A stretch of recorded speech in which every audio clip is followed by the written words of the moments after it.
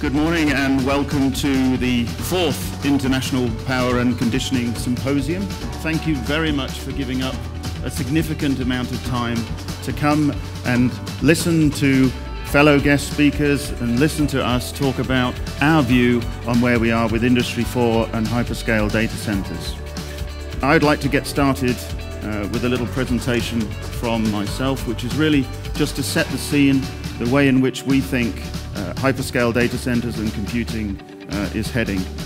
So we're doing more virtualization. We're trying to do more with less, less power, less IT requirements, less cooling requirements. Uh, we're doing more with less.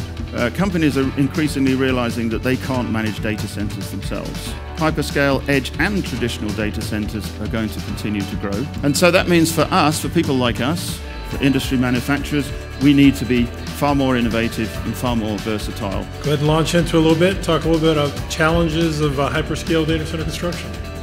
So um, some of the other future impact that you'll see is that with the raising of the temperature in the cold aisle, the ability to keep air moving across that server is essential.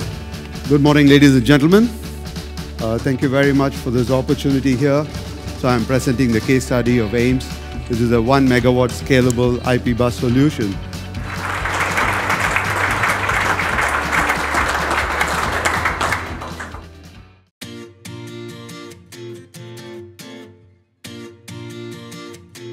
Again, welcome to our test department here. Uh, we will present you some practical tests with the battery-free UPS systems and some diesel gensets outside. So when we do the mains failure, you will see CPMs discharging, then the diesels will start and they will take the load. Look for the uh, orange light here. Now the start signal has been sent. Starting time for the gensets 14 seconds.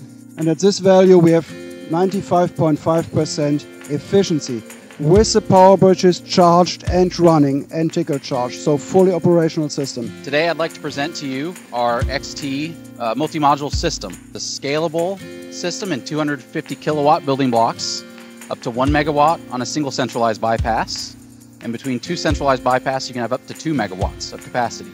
And now I'd like to invite you for a live demonstration of the XT-MMS product.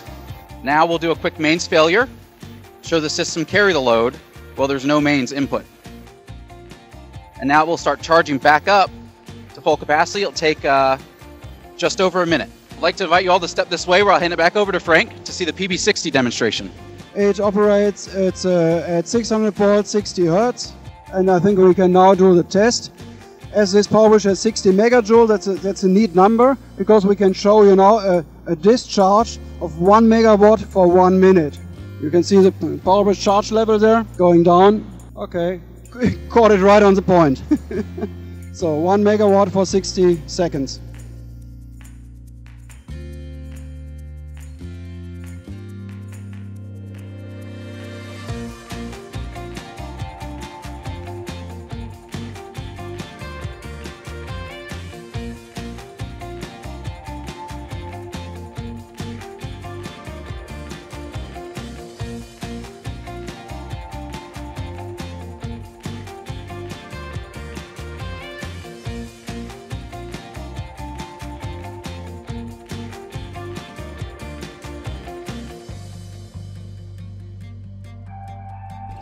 Good morning, everybody. Right. Hope you had a good, enjoyable dinner last night.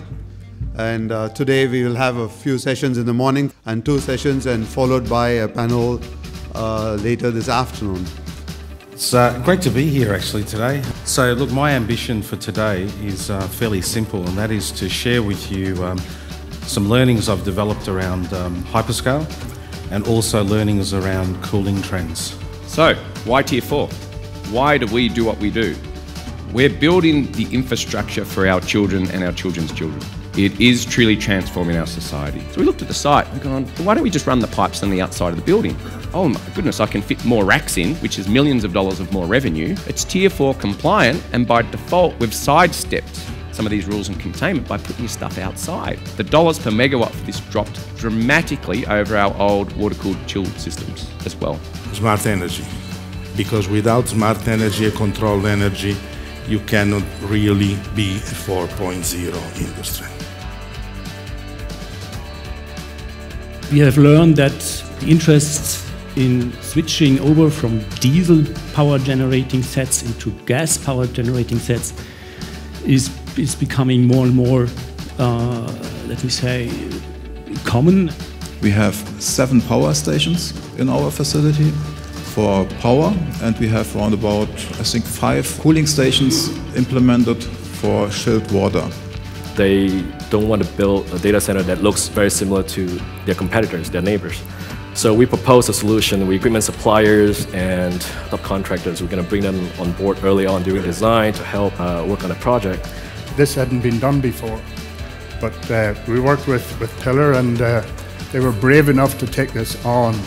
This is our panel discussion, uh, headed and chaired by Scott Davis. So as you can see, we have quite a um, elaborate cross section of expertise, so we should have a quite a lively discussion. I think uh, looking at Asia, one of the things that's happening is, uh, particularly in Singapore, it wants to be the smart city of the future. What we're trying to do, as I said, is maintain spatials and flexibility in the design so we don't overcommit. Yeah, it, it gets challenging to design trying to predict the future. All right, with that, uh, I think it's time to open it up to the audience if they have any questions for the panelists. Well, I like, I like what you suggest about the uh, noise regulation. All the noises at a data center are very repetitive and, and could be canceled with a counter noise if you think about it. It's a great question, right?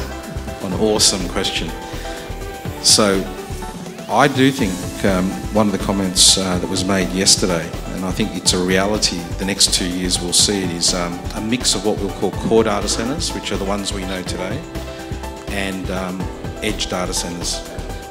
So, after that, one more time, please, everybody, our guest speakers, thank you. Uh, it's now the end of the conference. Once again, thank you very much to these people.